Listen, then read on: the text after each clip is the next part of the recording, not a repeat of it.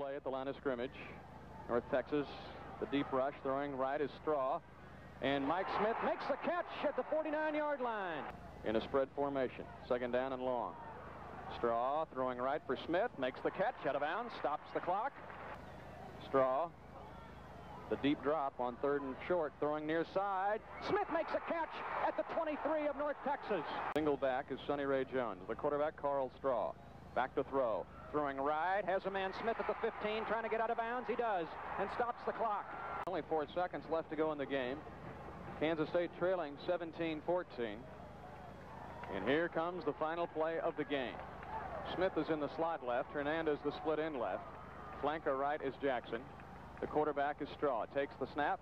Back to throw. North Texas rushing. Near side pass to Hernandez. He got it. He got it. He got it. Touchdown.